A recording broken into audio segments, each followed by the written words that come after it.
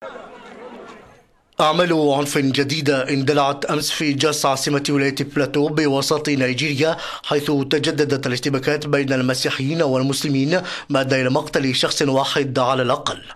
يأتي هذا غداة موجة اعتداءات بالقنابل وهجمات استهدفت مسيحيين عشية عيد الميلاد في مدينة جاس الواقعة بين الشمال حيث تقيم غالبية مسلمة والجنوب المسيحي بغالبيته الهجمات أسفرت عن سقوط أكثر من 30 قتيلا وجرح أكثر من سبعين آخرين حسب ما أعلنته الشرطة النيجيرية.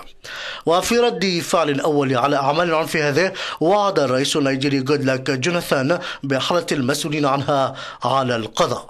هذا وانتشر الجيش النيجيري أمس بقوة في مدينة جاس تفاديا لاندلاع موجة جديدة من أعمال العنف في منطقة تشهد بانتظام مواجهات طائفية.